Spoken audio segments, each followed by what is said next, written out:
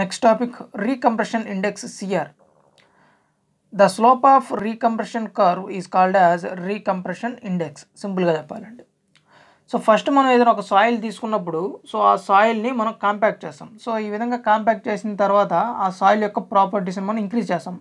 So ఆ soil యొక్క bearing capacity shear strength so అదేవిధంగా సెటిల్మెంట్ సో ఇవన్నీ కూడా మనం చేంజ్ చేస్తాం. సో ఈ కంప్రెషన్ వల్ల.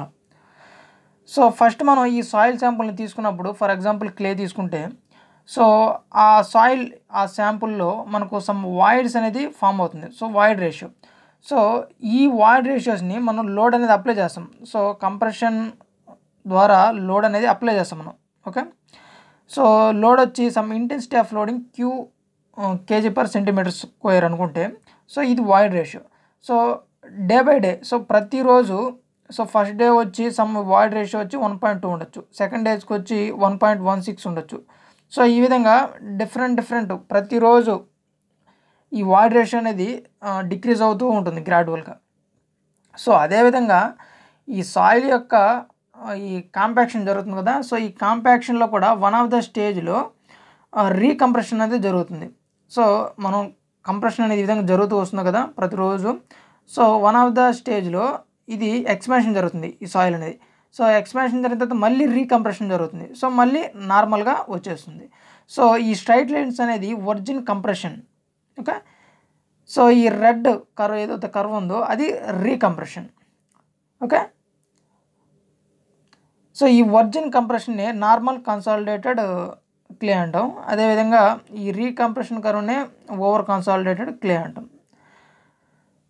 సో ఇక్కడ ఏదైతే రీకంప్రెషన్ కరోది ఇక్కడ సమ్ యాంగిల్ అనేది ఫామ్ అవుతుంది కదా అది సిఆర్ కంప్రెషన్ ఇండెక్స్ సో అదేవిధంగా ఫైనల్ స్టేజ్లో సో ఈ స్ట్రైట్ లైన్ ఉంది కదా సో ఈ స్ట్రైట్ లైన్లో ఫామ్ చేసే ఇదైతే యాంగిల్ ఏదైతే ఉంటుందో అది CC CC means compression index so CR means compression index or quotient quotient of recompression so ఈ సిఆర్ వాల్యూ అనేది CC by five five to CC by ten వరకు ఉంటుంది ఈ రేంజ్లో ఉంటుంది.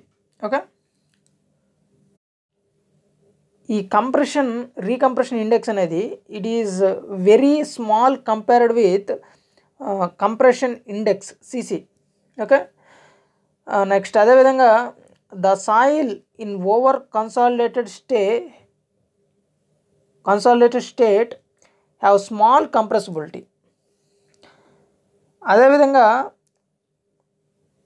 ఈ ఓవర్ కన్సాలిడేటెడ్ క్లేస్ ఏవైతే ఉన్నాయో సో వాటి దగ్గరలా మనం ఏదైతే స్ట్రక్చర్స్ బిల్డ్ చేస్తాం సో అవి చాలా తక్కువ కన్స్ట్రక్ట్ చేస్తాం. నెక్స్ట్ అదేవిధంగా ఇది రీకంప్రెషన్ కర్వ్ అదేవిధంగా ఇది virgin compression curve. Okay? NC NCC ఇది ఓసిసి సో ఇది ఇనిషియల్ స్టేజ్లో సో ఇనిషియల్ స్టేజ్లో ఆ సాయిల్ మీద మనం అప్లై చేసే ఎఫెక్టివ్ స్ట్రెస్ అదేవిధంగా ఇది sigma F dash means final effective stress same ఇక్కడ కూడా. సో ఈ formulas SF means consolidated settlement so దీని ఫార్ములా ఇది. అదేవిధంగా ఈ ఒరిజిన్ కంప్రెషన్ కర్వ్ యొక్క ఫార్ములా ఇది.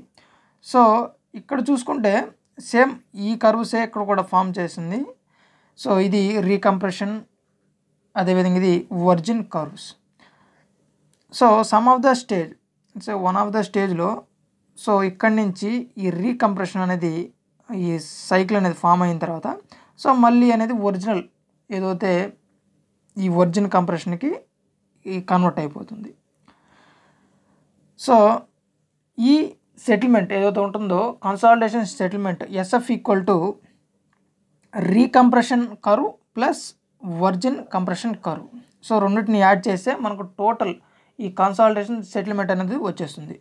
సో ఇక్కడ హెచ్ నాట్ మీన్స్ మనం ఏదైతే సాయిల్ శాంపుల్ తీసుకుంటామో క్లేని సో దాని యొక్క thickness CR means recompression index e naught means initial void ratio next sigma C dash means so ఎక్కడైతే మనకు చేంజ్ అవుతుందో రీకంప్రెషన్ యాక్ట్ అవుతుందో సో ఆ ప్లేస్లో వచ్చే effective stress sigma naught dash means initial effective stress so same C naught CC means compression index next sigma F F dash means final effective stress so ఇది compression index గురించి.